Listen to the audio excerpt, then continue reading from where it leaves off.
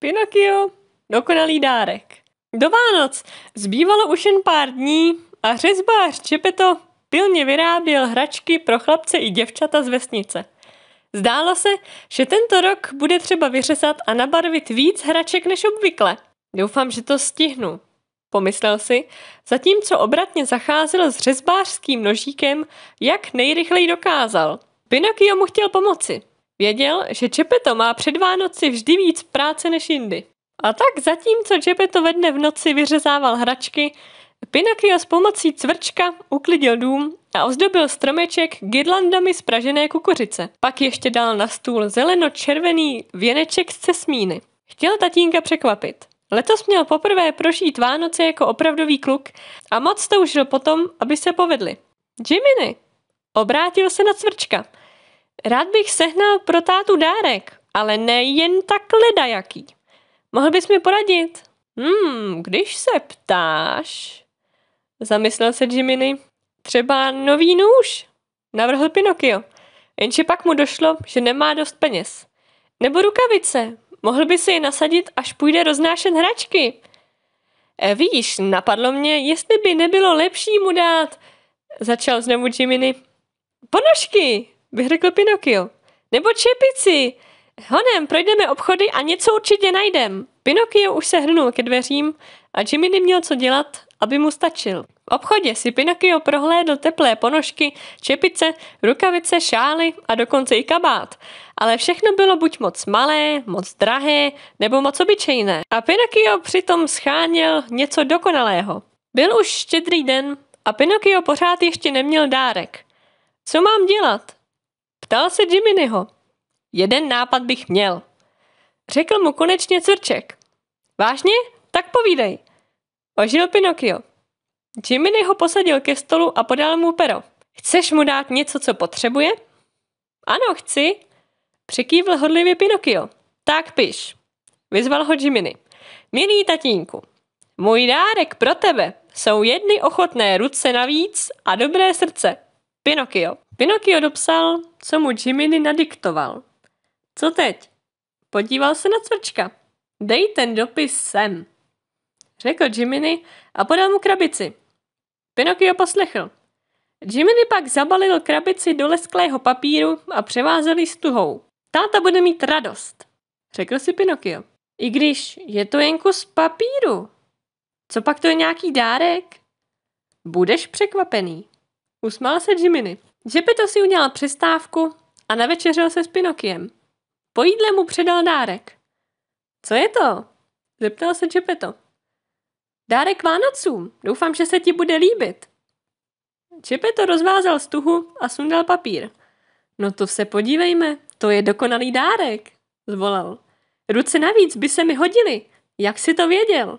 Pinokio se jen usmíval. Ukázalo se, že cvrček měl pravdu. Překvapilo ho, jakou radost tatínkovi udělal. Rád ti pomůžu a můžu začít hned, řekl.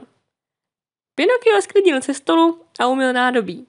Potom šel za tátou do dílny, zametl podlahu a zabalil hotové nové hračky. Na každý balíček nalepil jmenovku, aby Čepeto věděl, komu dárek patří. Byli skvělý tým. Když Čepeto vyrazil z domu, aby doručil poslední dárky, zalezl Pinokio do postele. Po práci byl unavený, ale také šťastný, že mohl pomoct. Usínal a sliboval si, že bude pomáhat mnohem častěji. Tu noc za ním přišla modrá víla. Protože jsi byl hodný, splním ti zvláštní vánoční přání, řekla. Dobře si rozmysli, co chceš. Pinokia napadala spousta věcí, které by si přál mít, ale nakonec řekl, chci dát tátovi dokonalý dárek, něco, co mu bude dělat radost. Modrá víla se usmála. Věděla přesně co. Jsi hodný, řekla. Vím určitě, že tatínek bude tento dárek opatrovat celá léta. Druhý den ráno si Čepeto přivstal. Potichu šel do obýváku, zapálit oheň v krbu a připravit snídani. Byl rád, že mu Pinokio pomohl a chtěl ho překvapit. Uložil dárky pro Pinokia pod stromeček. Vyrobil mu krásného houpacího koně a žertovného čertíka v krabici. Ale když se podíval na strom, vydechl údivem. Na větvích vysela loutka, která vypadala přesně jako Pinokio. No tohle... Gepetto se usmál a prohlédl si loutku. Tu, kterou vyrobil dávno, připomínala úplně ve všem. Jedné osamělé noci vyslovil přání, aby se jeho loutka změnila v chlapce. Modrá víla mu to splnila. A tak se z této loutky stal Pinokio.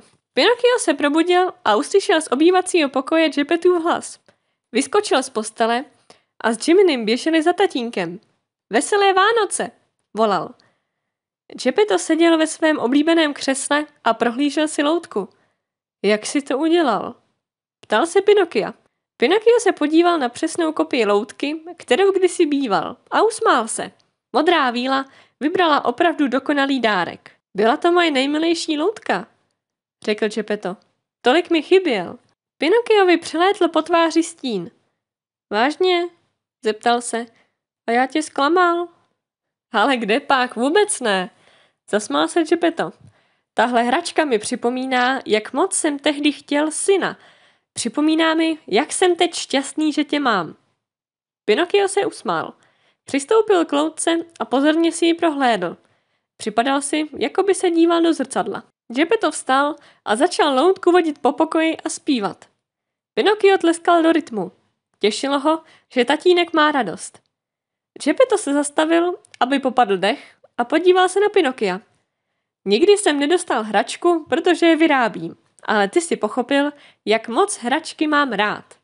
Díky, synu. Vidíš? Pošeptal cvrček Pinokiovi. Říkal jsem, že bude překvapený. Pinokio přikývl a díval se, jak tatínek radostně tancuje s loutkou. Neváhal a přidal se k němu.